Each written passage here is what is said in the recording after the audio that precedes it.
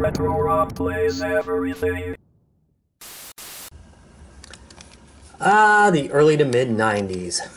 The wild west of game controllers. And from this fertile ground came the high frequency Turbo SNES controller.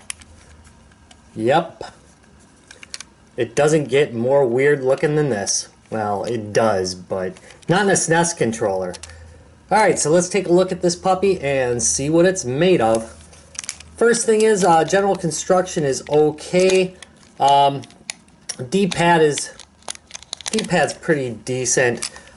Note that the bottom three buttons are concave and the top three are convex. I think the idea is you're supposed to rest your thumb here and see your thumb tip can hit the buttons. I think that's the idea they were going for here. It does it it works okay. Um, these buttons are not rubberized. Uh, they are just straight up plastic. Uh, note if you look on top here, we have wait there we go auto, turbo, and normal. So this is normal fire mode, and the color matches the color of the button that you're modifying. And then there is turbo mode right there, which means when I press the button, it does a rapid fire. And then there's auto mode way at the top, which is really hard to get into. Jeez. Um, and that one is a mode where it always is automatically firing. So it's a rapid fire that's running all the time. Ouch that kind of hurts. Yeah, that was one of the things about this is just a weird, weird kind of layout. Uh, the other thing we have right here is if you look real close, you see that? This is a slow motion button, or a slow motion switch. And these were kind of common at the time. They, they don't really work that well. On most games, you get kind of this bleep to tell you that you are uh, in pause. And what it does is it just basically pauses it really quickly and it gets annoying really fast. It's kind of a, it, it, it's a feature that would work occasionally, but most of the time it would just annoy the crap out of you and be pretty much useless. I think it was another thing to put a switch on. And of course you got your two bumpers right here. And these are actually pretty nice uh, feeling bumpers, bloopers, bloopers. Nice, yeah, not bad at all. Uh, Again, you know, the size and heft is okay. The cable is about six feet long, so it's got plenty of room for that. The uh, connections themselves are actually pretty nice. I mean, they don't feel like they're going to wear out anytime soon.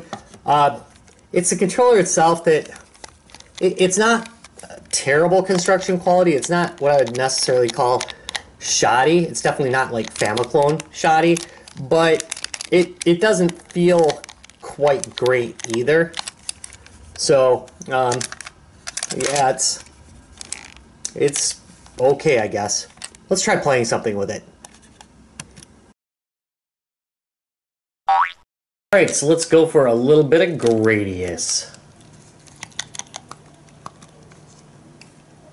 Start. Good. And we'll just use the defaults here.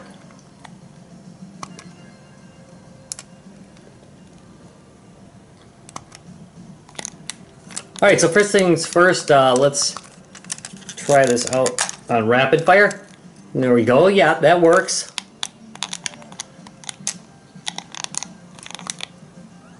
Yay.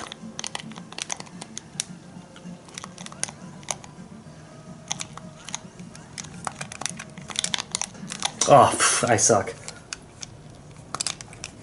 Next. Auto fire.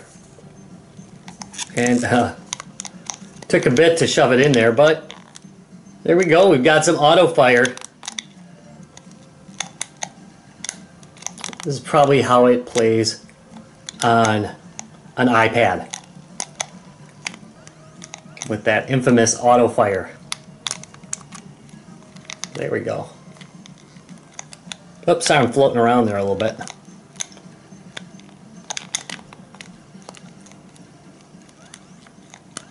Alright, let's turn that auto fire off. I don't feel real comfortable with auto fire on. And then let's try it on slow-mo. Okay, so uh, there it is. Uh,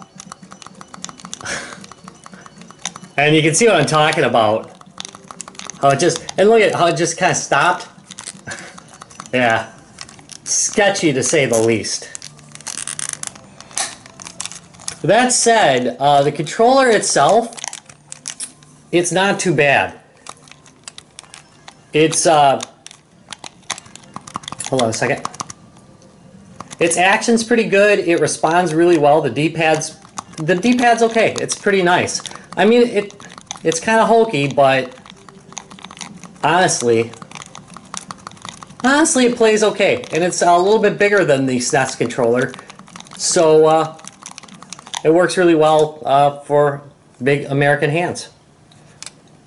So uh, I'm going to give it a thumb sideways. Uh, I like it, uh, but it's a little bit chintzier than I like SNES controllers to be. The SNES can be really, really hard on controllers, and I think the quality of this thing being a little bit low is probably going to cost it over time. Uh, I, I think if you get it super cheap, it's probably worth it. The auto fire, the auto fire is a nice feature. And the turbo fire is a nice feature, uh, but the slow motion is pretty much useless. So if you're looking for a slightly larger controller and you want it on the cheap, you can get these for sub $10 nowadays on eBay. So yeah, it gets a thumb sideways. It's okay. Not bad, not great. Thanks for watching. If you enjoyed this video, give me a thumbs up, subscribe for more. See you in a couple days.